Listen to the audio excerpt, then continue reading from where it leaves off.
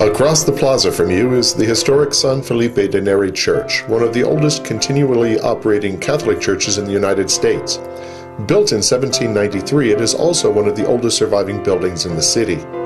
Originally named San Francisco Javier after the Viceroy of New Spain, the Duke of Albuquerque changed the name to San Felipe in honor of King Philip of Spain.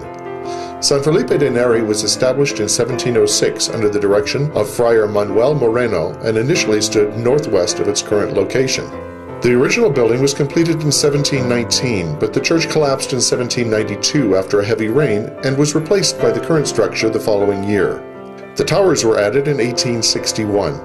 A parish school was constructed in 1878, and a convent for the Sisters of Charity was built on the west side of the church in 1881. The church complex recently underwent extensive renovations inside and out. Feel free to walk through the church. Its doors are open to all. Leave a donation if possible, but be sure to notice the hand-painted retablos, religious paintings, and carved santos or saints. Your next QR code is in the Old Town Basket Shop across from the church on the northwest corner of the plaza.